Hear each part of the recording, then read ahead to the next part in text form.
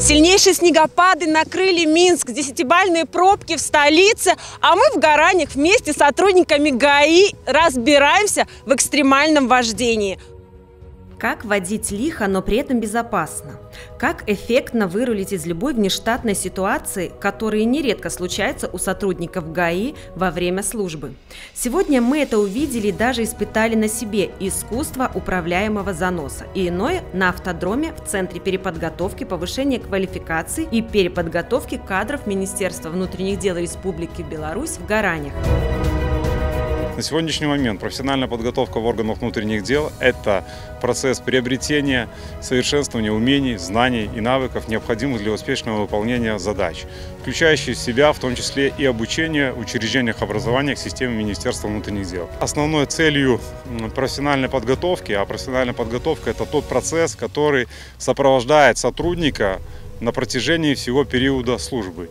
И основной целью этого процесса является подготовить для министерства, для страны высококвалифицированного профессионала, настоящего сотрудника, который всегда готов прийти на помощь.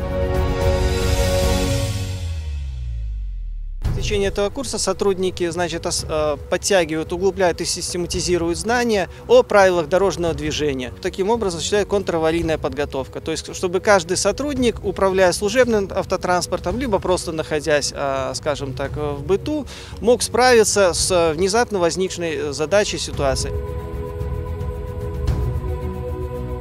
Данные курсы, скажу честно, очень оказались не, ну, и полезны, и познавательны в чем-то. Все-таки в зимний период времени такое вождение нужно для сотрудника, потому что он должен адаптироваться в таких вот условиях, э, непредсказуемых временами. Тормоз отпускать? Да, тормоз отпускается. Ё, красиво, не На глаза заглохнет? зажимайся. Все, чуть. Ух ты! Тихо. Что мы здесь должны? Проехать ровненько и не сбить? Ровненько, да, ровненько едем. Отлично. Теперь тормоз, аккуратненько, Не, зимняя. не, не. Не тормозим? Если, если машину несет, тормоз отпускаем, стараемся вы- вырубить. Что самое сложное для водителя-милиционера зимой? Ну, как и для всех, наверное. Самое сложное погодные, погодные условия. Надо понимать, когда, когда нужно подгазовать, когда затормозить нужно. Испытав на себе все прелести зимней езды за рулем, с уверенностью можно сказать, что для сотрудников ГАИ этот курс – отличная возможность научиться управлять автомобилем в критических ситуациях и думать на опережение последствий.